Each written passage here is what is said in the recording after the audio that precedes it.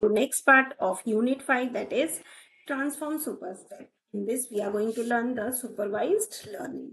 What is supervised learning? It is the machine learning task of inferring a function uh, from labeled training data. The training data consists of a set of training example.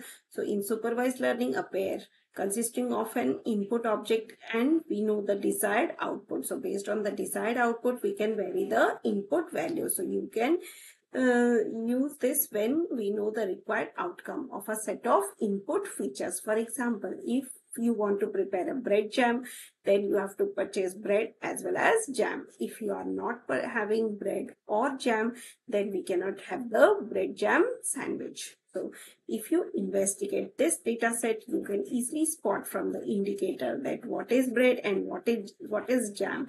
The data science model you could perform in this is known as the supervised learning. Now Let's see what is unsupervised learning. Unsupervised learning is the machine learning task of inferring a function to describe hidden structure from unlabeled data. This encompasses many other techniques that seek to summarize and explain key features of the dataset. For example, if you take a bag of marbles and you want to distribute the marbles into three different sets based on some size, color or material.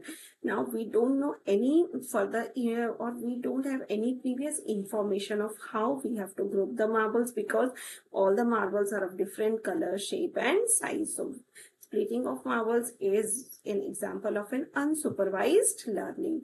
Reinforcement learning. It's the area of machine learning inspired by behavioral psychology. That is concerned with how software agents should take action in an environment so as to maximize more or less a notion of cumulative reward.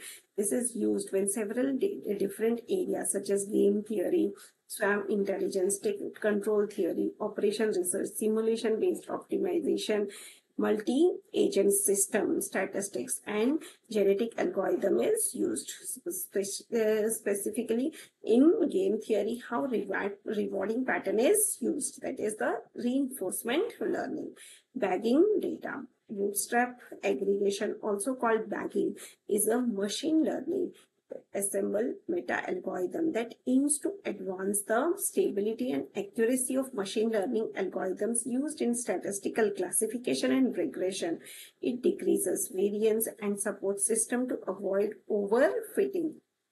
Random forest or random decision forest are an ensemble learning method for classification and regression that works by constructing a multitude of decision tree at training time and outputting the results the mode of the classes or mean prediction of the individual trees. We can have the regression analysis of individual trees and we call it as random forest. So random decision forest correct for decision trees habit by overfitting their training data set.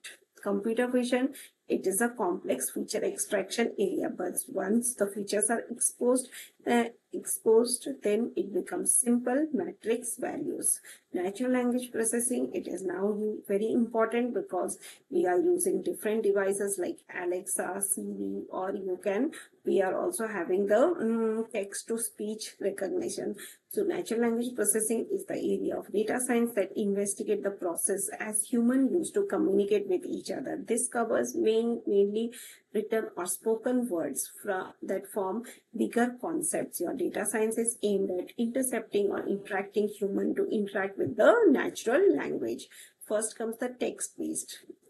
If we want to process text, we must set up an ecosystem to perform the basic text processing. So we can use the library NLTK and we can install it by writing conda install anaconda NLTK and the library will get installed on our computer and it will help us to understand do the natural language processing. Speech-based recognition here the major demand for speech to text conversion is to extract features that means when we speak then at that time, it will try to extract the text from our speech. And for this, we also need the speech recognition library. So we can install it by writing the command install minus c conda.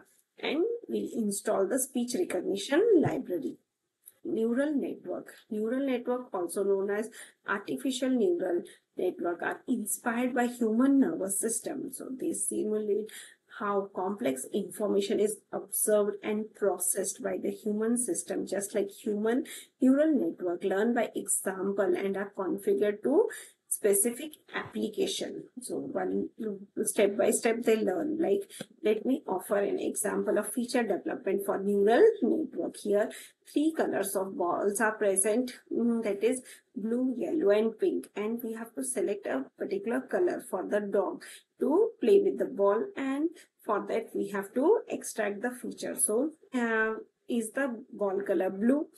it may have two answers yes no. Is the ball color yellow? We have two answers yes no. And is the ball color pink? We have two answers yes no. Now neural network simply what it is doing yes no values it is converted into, into zeros and ones. And then it is trying to solve the question. So it is useful but you have to also think logically whether the question is correct or not now gradient descendant, gradient descendant, it is the first order iterative optimization algorithm for finding the minimum of a function. To find the local minimum of a function using gradient descendant, one takes step proportional to the negative of the gradient of a function at the current point regularization strength.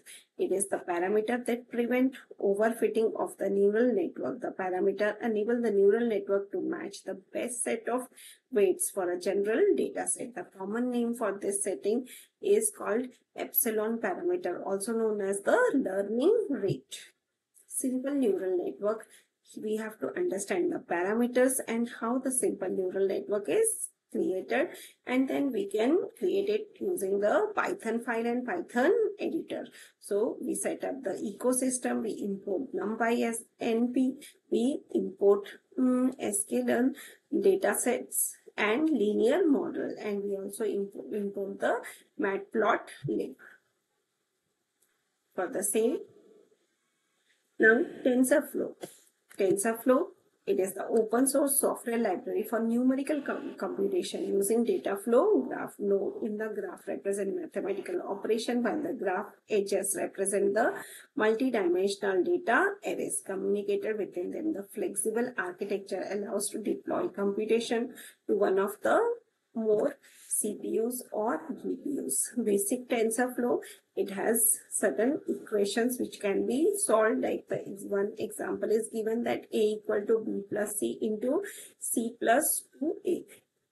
And another equation is also given so we can calculate for b equal to 2.5 c equal to 10 we have to open the python editor import tensorflow as tf create a tensorflow constant and that is const equal to tf dot constant 2.0 name is constant. So accordingly we can work on the python editor. So with this we have come to end of our chapter number 10 in unit number 5 thank you